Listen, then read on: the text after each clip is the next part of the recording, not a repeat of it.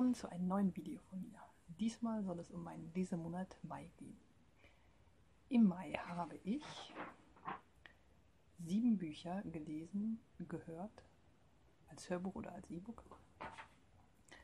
Und wir fangen an mit dem ersten Buch, das kann ich leider nicht zeigen, und zwar war das das Hörbuch Aschenkind. Dieses wurde bei Amazon empfohlen und ähm, ich wollte da gerne mal reinhören. Und das ist quasi eine Neuerzählung von Cinderella oder Aschenputtel mit ein paar neuen Aspekten, die so im Bereich Fantasy liegen und ähm, so ein paar Jugendbuchaspekten wie äh, so Love Triangles und, und ähm, ja, so die Welt wurde halt so ein bisschen erweitert um verschiedene Länder und äh, umgebende Reiche und noch so Fabelwesen.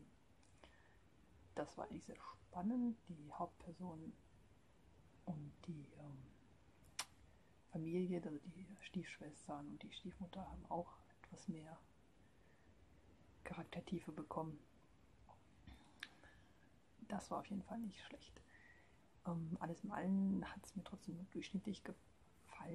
Es war auch recht kurz. Also verschiedene Sachen hätten da weiter ausgebaut werden können, wie zum Beispiel die Welt.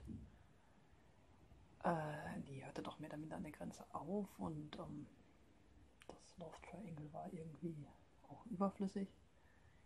Und die Hauptperson war so ein bisschen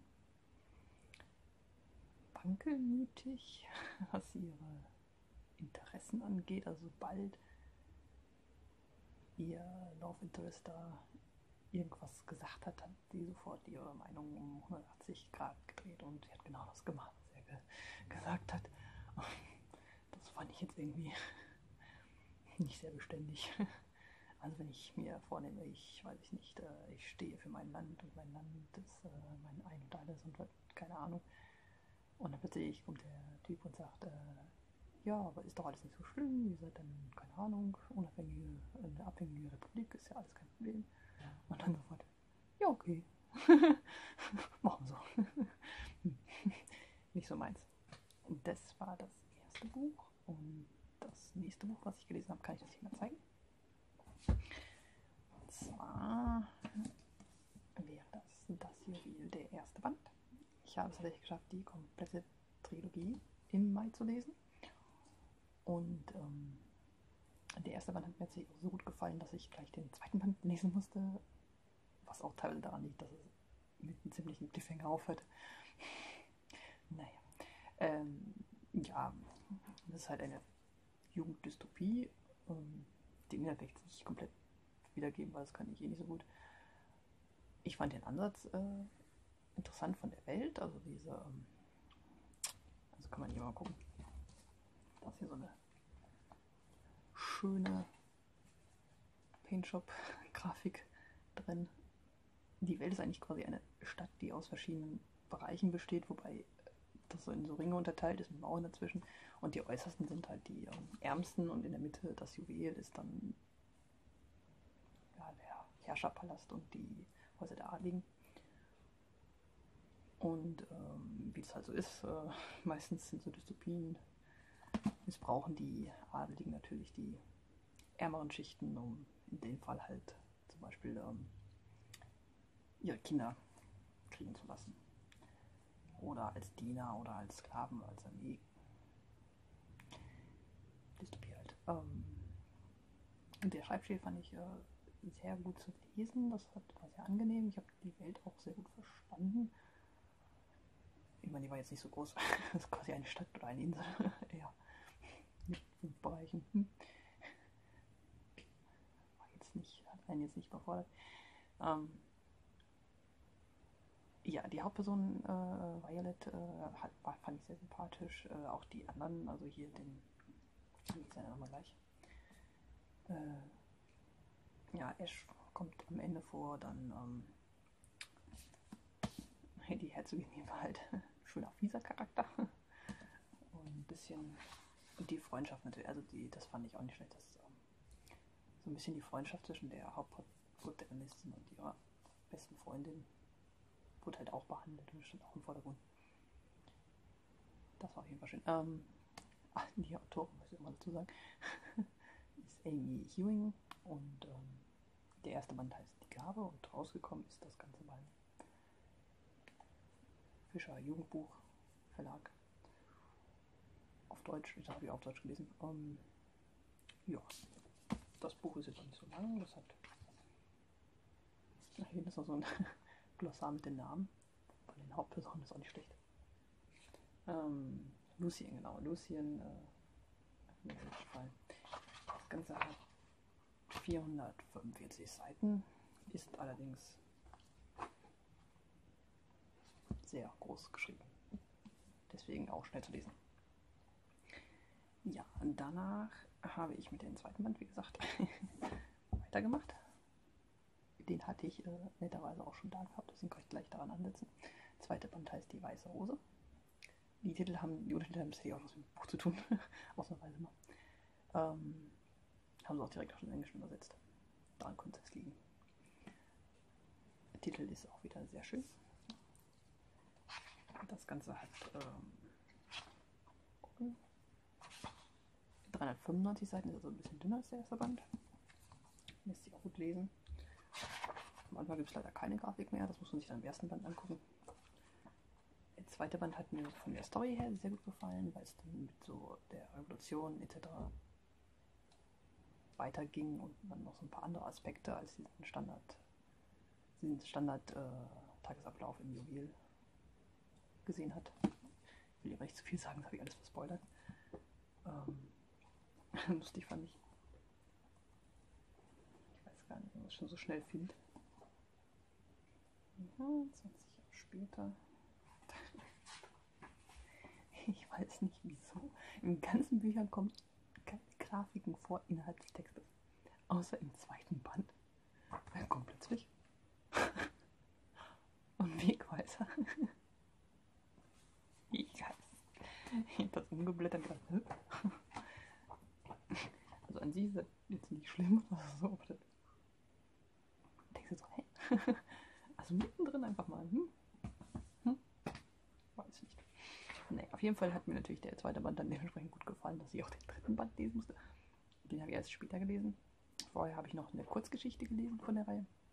Und zwar ist äh, House of Stone als E-Book, englische. Die gibt es auch im Deutschen, aber im Deutschen sind die teurer. Und das ist halt nur eine Zusatzkurzgeschichte. Und ähm, in der geht es halt um Raven, also der besten Freundin von der Violet. Okay, der sieht jetzt auch nicht so wild aus. So sieht das Ganze in Englisch aus. Also ich sag mal, es gibt zwei Kurzgeschichten, ähm, die quasi zwischen dem ersten und dem zweiten Band spielen, oder die kann man nach dem ersten Band lesen. Ähm, geht halt so ein bisschen um Ravens Geschichte, während Violet quasi ihre Geschichte im ersten Band erzählt. Allerdings wiederholt sich da so ungefähr 90% davon, was auch im ersten Band vorgekommen ist. Also eigentlich die gleichen äh, Geschehnisse, wo quasi Raven und Violet gleichzeitig waren, also bei der Aktion und bei dem Essen später. Komplett nochmal die gleiche Szene, nur aus der Sicht von Raven mehr oder minder. Das war jetzt irgendwie, ich hatte jetzt noch gehofft, dass da viel mehr erzählt wird über das, was Raven quasi außerhalb äh, von den Treffen mit Violet gemacht hat. Also das, was wir noch nicht wussten. Da kam ein bisschen vor. Aber nicht, das hat sich jetzt nicht gelohnt dafür, die Seiten zu lesen. Die Seiten hat er das? 70 Seiten, jetzt habe ich es gefunden. 70 Seiten. Ähm, mit neuen Info vielleicht. 20. okay, ich habe es trotzdem. Die andere äh, Kurzgeschichte habe ich mir dann nicht nochmal durchgelesen, weil die hat da irgendwie noch schlechtere Bewertung als die erste und die hat mir schon nicht gefallen. Wie gesagt, dann lasse ich es. Und dann ähm, lese ich so lange wieder was anderes. Und zwar habe ich dann gelesen den ersten Band von Flames and Roses. Oh, das ist der erste Band und die Reihe heißt Lebe lieber übersinnlich von Kirsten White. Das ist im Löwe erschienen. Und ähm, ja, die Aufmachung fand ich auf jeden Fall sehr hübsch, ist ja wie eine Bände aufgeholt und die Story war auf jeden Fall sehr lustig und kurzweilig unterhaltsam. Also es ging ein bisschen in Richtung, also ich fand so Buffy-mäßig. also so eine, naja, nicht Vampirjägerin, aber so eine übernatürliche Wesen-Gigerin in der Hauptperson. Und ähm, Ivy heißt sie. Und das war eigentlich schon sehr unterhaltsam. Kann ich auf jeden Fall weiterempfehlen. Und dann habe ich natürlich den, könnte es was sein, den dritten Band von Das hier gelesen. Der Schwarzschlüssel. Und der war auch mal wieder nicht so lang. Hat auch 395 Seiten. Das war quasi die, das Ende der Geschichte, deswegen erzähle ich lieber nicht, wie es ausgegangen ist. Hat mir vom Schreibstil auch sehr gut gefallen. Ähm, ließ sich auch sehr gut lesen. Also es hatte am Ende so ein paar kleinere Längen, fand ich jetzt. Und ein paar unlogische Stellen, die mir dann aufgefallen sind. Aber ich sag mal, alles in allem war das eine sehr gute Reihe, sonst hätte ich sie auch nicht so schnell zu Ende gelesen. Also zu empfehlen. Dann habe ich noch ein Buch, was ich jetzt wieder zeigen kann. Und zwar habe ich als Hörbuch ähm, gehört. Ähm, Perfekt von Cecilia Ahern. Das ist halt der zweite Band dieser Flawed-Reihe von ihr. Flawed hatte ich schon mal einen Monat davor gelesen, äh, gehört als Hörbuch. Und ähm, ja, Perfect war quasi der Abschluss. Das hat eigentlich auch gereicht, die beiden Bände, um die Geschichte zu erzählen. Es geht halt um Dystopie mit auch einer ähm, äh, ja, einfach einer Gesellschaft, die auf so perfekt getrimmt ist und etwas seltsam. Also die haben quasi äh, so eine Moral äh, oder so eine Aufpasser-Parallel-Institution äh, gegründet, die quasi nur darauf guckt, dass sich alle Leute irgendwie perfekt verhalten und die, die nicht perfekt verhalten, die werden irgendwie bestraft. Die stehen aber irgendwie außerhalb des Gesetzes, was ein bisschen komisch ist, weil man, ein Gesetz gibt es auch noch, es gibt eine Regierung, es gibt ein Gesetz, gibt es noch eine Polizei. Und wenn irgendjemand Verbrechen begeht, dann werden die halt normal bestraft. Und wenn halt jemand solche moralischen Verfehlungen begeht, wurden die halt über diese Gesellschaft bestraft. Das ist vielleicht nicht unbedingt nachvollziehbar. Vor allen Dingen, weil die Strafen von der irgendwie viel härter sind, als das, was das äh, statt irgendwie so zwei Jahre im Gefängnis bist du da quasi für dein Leben lang irgendwie ausgesperrt, gebrandmarkt und keine Ahnung was. Also das ist irgendwie ein bisschen sehr krass. Aber es ist halt eine junge Dystopie, also von daher habe ich jetzt da nicht so große Ansprüche dran, was da jetzt diese Welt angeht, dass das halt so total ausgedacht ist. Also auf jeden Fall äh, interessante Ansätze und ähm, die Hauptperson hat mir auch gut gefallen, auch wenn er um Käsegang ist und ja, das war halt der Love Interest war halt so ein bisschen arg äh, Insta äh, und ein noch etwas erzwungeneres Love Triangle am Ende war irgendwie, das waren so meine Kritikpunkte, weil das hätte ich eigentlich gedacht von einer Romanautorin wie Cecilia hören würde da in der Richtung Besseres kommen. Also irgendwie etwas ausgearbeitete Liebesstory. Aber dafür war die Welt eigentlich sehr gut ausgearbeitet. Eigentlich das, was man nicht gedacht hätte. Und das hat es dann so ein bisschen rausgerissen. Deswegen fand ich die eigentlich ganz gut und habe die auch schnell durchgehört. Ja, das war das Hörbuch. Dann habe ich noch ein E-Book gelesen, und zwar Ass. Das kann ich auch wieder zeigen. Halt in die Richtung New Adult. Ja, klar, geh aus. das ist der zweite Teil einer Reihe. Der erste Teil heißt Him. Und dann sind die Hauptprotagonisten beide männlich. Und ähm, es geht auch so um Eishockey. Also das fand ich eigentlich echt nicht schlecht. Das, ich habe da nicht so viel Ahnung von und das wurde halt im ersten Band total gut erklärt. Also es, die kennen sich halt schon von Kindesbeinen an, sind halt immer im Sommer zu so einem äh, Eishockey-Camp gefahren und haben dann da Eishockey äh, trainiert und äh, sind auch beide sehr gut. Und ähm, sind dann irgendwie so am Ende des ersten Bandes so ungefähr fertig mit der Schule oder Ausbildung oder wollen halt so ihre Profikarriere starten. Und ähm, ja, ist halt äh, New Adult, also kommen wieder äh, Liebesszenen, Sexszenen vor, ähm, aber vor allen Dingen, also eigentlich ist die Liebesgeschichte tatsächlich super, super schön in den Büchern. Also die sind so sympathisch und äh, da gibt es auch so, so, so richtige normale Probleme in der Beziehung, sage ich jetzt mal. Also nicht das übliche, keine Ahnung, äh, weiß ich nicht, alle meine Anverwandten sind gestorben und ich habe irgendwelche schlimmen Schicksalsschläge in der Kindheit. Also das kommt zwar auch so ein bisschen, aber der eine hat tatsächlich irgendwie eine liebevolle Familie, soll mal vorkommen, die auch noch lebt.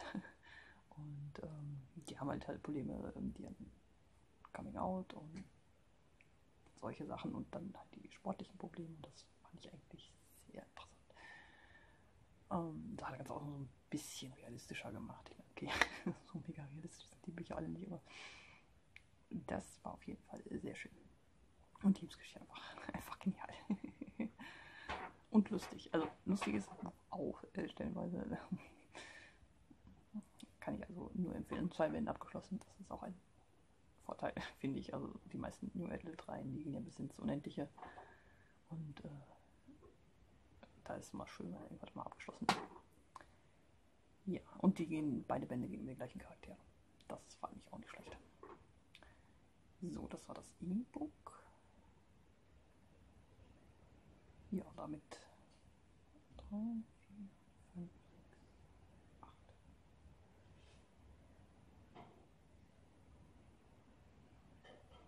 Okay, 10 kann ich auch nicht. also, also mit der Kurzgeschichte wären es tatsächlich 8 Bücher gewesen. Jetzt kann man die Kurzgeschichte dazu zählen oder nicht. Kann man lassen. Achso, ich hatte noch äh, statistikmäßig ausgerechnet. Äh, ich habe tatsächlich 2781 Seiten gelesen. Circa 90 Seiten pro Tag, äh, was ich natürlich so nicht mache, aber ja. Das war auf jeden Fall ein sehr guter Lesemonat für mich. Und so mein Standardwert sind eigentlich immer so vier, fünf Bücher, sag ich mal, im Monat. Dieses Jahr läuft eigentlich sehr gut. Da schaffe ich es tatsächlich auch mal irgendwie so sechs, sieben Bücher im Monat zu lesen. Ob ich das den Rest des Jahres durchhalte, weiß ich nicht. Ähm, meine Goodreads-Challenge äh, liegt bei 75 Büchern. Das werde ich wahrscheinlich schaffen. Das habe ich letztes Jahr auch geschafft. Und da habe ich jetzt schon vier, ja, also wenn das Video halt kommt, 44 Bücher von gelesen. Ja, sieht also gut aus. So, das war es von meinem Monatsrückblick Mai. Und das ist jetzt so mein neuer Hintergrund. Ich hoffe, das geht einigermaßen. Ich werde mal ausprobieren, was ich mir was Besseres finde. Ist halt nicht so einfach. Und mal schauen, was so als nächstes Video kommt. Ich hoffe, ihr seid wieder dabei. Viel Spaß und bye bye.